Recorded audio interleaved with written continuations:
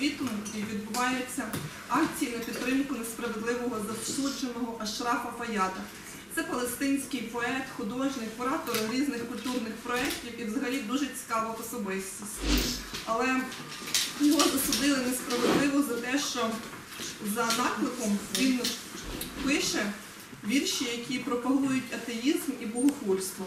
Хоча насправді поліція не змогла цього довести на суді і тоді знайшли іншу причину для його засудження, а саме носіння довгого волосся і куріння в громадських місцях.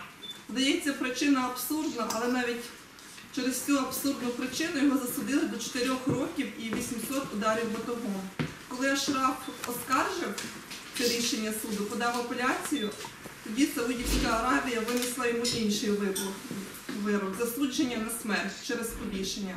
Митці зі всього світу з ініціативи Берлінського фестивалю вирішили зробити акцію на підтримку даного автора. І в 63 країнах понад 300 авторів е, прочитають вірші Фаяда та свої власні.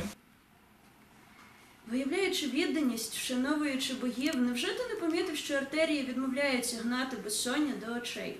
Невже не помітив, що серця усіх тих покинутих на тротуарах ночі не раз відходили від твоїх очей?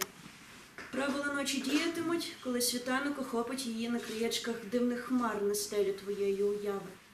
Ти також не помітив, як прагнеш розтлумачити артерії жінок, тіл, кинутих на поверхню пам'яті, яка довго розлучалася з часом.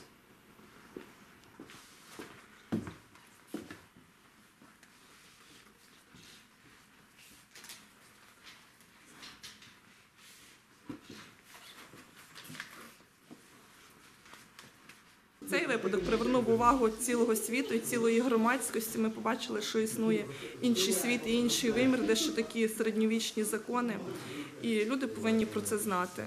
Я вірю в силу колективної думки і надіюся, що чим більше людей про це почує, чим більше людей прочитає твори Ашрафа Фаяда, то вони захочуть і пошлють якісь йому такі промінці надії і віри, йому буде легше перебувати в тій тюрмі і очікувати вироку.